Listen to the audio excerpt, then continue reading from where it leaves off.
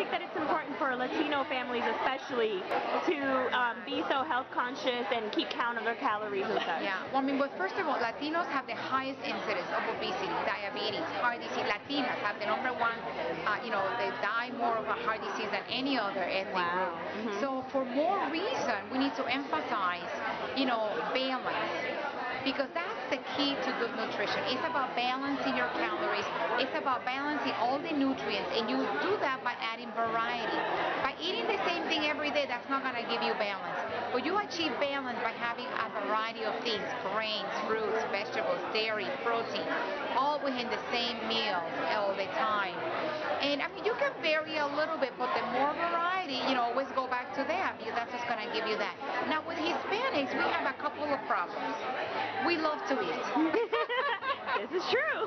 we love to. I mean, there is nothing more exciting for a Latino that mm, I'm going to sit down and eat today. Yes, and the minute you and walk in that door, it's comiste.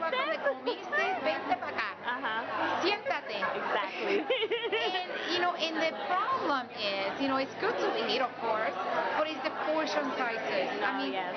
one portion of rice is a half a cup. I mean, think about three cups is more of a serving of rice for us. Then you add the gandules and the, you know, the uh, plátano fritos, mofongo, who knows?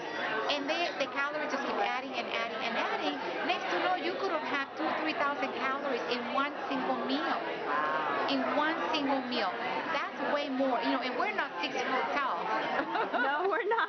So we're not out there, you know, 2,000 calories for us is pretty much maintaining your current weight. So in order to lose weight, you have to decrease 500 calories more.